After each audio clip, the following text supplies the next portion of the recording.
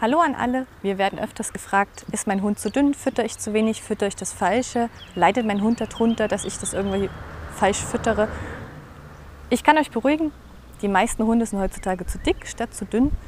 Erschreckt bitte nicht, wenn er jetzt auch zum Beispiel das Futter umstellt, wenn er vorher ein Futter hat, was sehr viel Zucker drin hat, sehr viel Getreide drin hat, das sind einfach so Füllstoffe, da wird der Hund einfach fülliger und runder. Und wenn man jetzt umstellt auf gutes Futter, auf wirklich fleischhaltiges Futter mit weniger Getreideanteil, dann werden die Hunde einfach wieder eine Figur haben, die dem Hund mehr entspricht. Meistens ist es so, dass die Hunde heute einfach eine unförmige Figur haben. Ich zeige das euch mal an der Kiko. Kiko, Kiko, komm mal her. Die Kiko hat eine sehr hübsche Figur.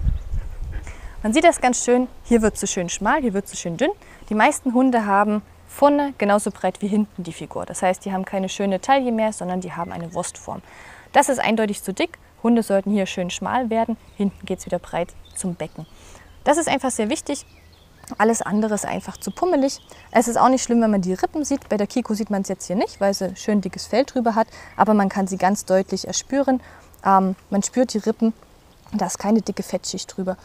Und manche sagen, oh Gott, oh Gott, man sieht hier hinten manchmal die Knochen oder kann sie ertasten. Das ist auch normal. Wenn man bei uns über die Wirbelsäule streicht oder hinten führt man auch die Knochen. Wenn man die Wirbelsäule nicht mehr ertasten könnte bei uns oder die Beckenknochen, dann wäre man auch ein bisschen zu pummelig. Deswegen nicht gleich Panik schieben, wenn da mal was Knochiges ist. Das ist beim Hund völlig normal. Die sind dann nicht irgendwie ähm, dick, dünn, irgendwie. Das ist jedenfalls so eine perfekte Figur. Es ist auch wieder typabhängig, zum Beispiel die Schwester von der Kiko, das ist die Reven. Die ist eher schon so ein kleines Pummelchen. Das heißt, die Rippen erspürt man hier ein bisschen weniger. Deswegen bekommt sie auch ein bisschen weniger Futter als jetzt ihre Schwester, die jetzt eine ganz andere Verdauung hat. Das ist auch wieder einfach typabhängig. Man muss einfach darauf achten. Wir achten auch sehr darauf. Übergewicht ist bei Hunden viel schlimmer, als wenn sie rank und schlank sind. Übergewicht hat bei uns auch viele Folgen. Es geht auf die Gelenke, es geht auf die Gesundheit, es geht auf den Körper. Es ist einfach eine Belastung, die nicht sein muss.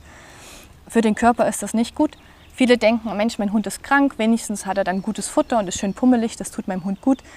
Ihr tut eurem Hund nichts Gutes, wenn er krank ist und pummelig ist. Der Körper hat dann einfach viel mehr Schaden, als dass er damit klarkommt. Wenn er in die Natur zurückgeht, klar hat der Wolf kein Übergewicht, weil er jetzt nie dauernd fressen hat, sondern sich das erjagen muss.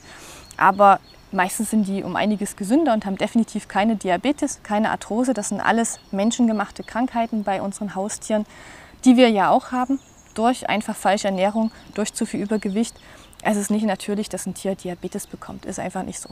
Das tun wir unseren Hunden an und den Hunden tut es, wie gesagt, sehr, sehr viel Schaden zufügen. Auch unser Whisky, der liegt hier gleich daneben. Das ist ein Riesenbrocken an Hund. Der kann essen, was er will, der wird einfach nicht dick. Das ist ein total schlankes Bürstchen. Da kann man jede Rippe spüren, jeden Knochen, aber er ist definitiv nicht zu dünn. Ihr seht das ja auch einfach allgemein. Ist mein Hund gut drauf? Hat der Energie oder ist der irgendwie apathisch oder schwach? Ähm, der Whisky ist alles andere als apathisch und mhm. alles andere als lustlos. Der hat immer Spaß, ist immer gut drauf.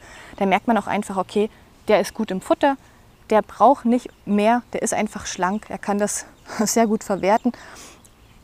Ihr müsst einfach immer mit, nur mit einem normalen Menschenverstand an die Sache rangehen und das Gesamtbild sehen. Ihr könnt nicht nur irgendeine Rippe und irgendeine Hüfte anschauen, sondern müsst immer ganz grob sehen, wie geht es meinem Hund, wie ist er drauf, wie verhält er sich. Zur Not könnt ihr auch gerne bei der nächsten Untersuchung euren Tierarzt fragen. Wenn ihr einen guten Tierarzt habt, guckt er sich das ganz genau an. Ähm, nur ist das Problem zum Beispiel, wenn ihr hier sehr einen sportlichen Hund habt, wie die Huskies auch, gibt es einige Tierärzte, die wissen, wow, cool, endlich mal ein schlanker Hund und nicht nur die über fetteten, sage ich mal, kleinen Möpse, die da so rumlaufen. Ähm, ein Hund, der viel Sport macht, hat einfach eine athletische Figur. Ist bei uns auch nicht anders. Ein Marathonläufer sieht anders aus als einer, der eine halbe Stunde am Tag ein bisschen spazieren geht um den Block. Manche Tierärzte sind aber ein bisschen ab vom Schuss.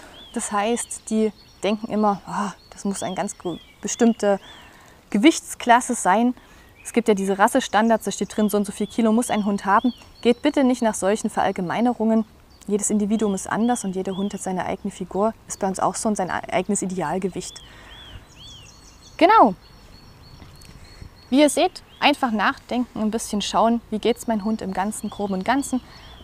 Zu dem einen Thema, Gott, der frisst jetzt so, so gerne und so, so viel, jetzt ist er bestimmt zu dünn. Stimmt auch nicht. Da haben wir schon ein anderes Video drüber gemacht. Hunde sind einfach Schlingfresse, die essen immer gern und immer viel. Wenn sie gesund sind, ist das völlig normal. Wenn noch Fragen sind, schreibt es in die Kommentare, auch eure Erfahrungen. Habt ihr Erfahrung beim Futterwechsel gemacht, dass ihr merkt, oh je, der Hund ist dünner geworden, aber ihm geht es auf einmal viel besser und er ist viel lustvoller und sportlicher geworden. Schreibt es uns ruhig, wir mögen immer eure Erfahrungen hören, wie es euren Hundis geht. Und wenn ihr noch ein anderes Thema habt, was euch interessiert, sagt uns auch Bescheid. Wir freuen uns über euer Feedback. Ich wünsche euch noch einen schönen Tag, macht's gut und bis zum nächsten Mal. Ciao. Die Mausi. Du bist kein Mausi, du bist ein Hund. Ein Hund. Hund. Dieser Hund hört er.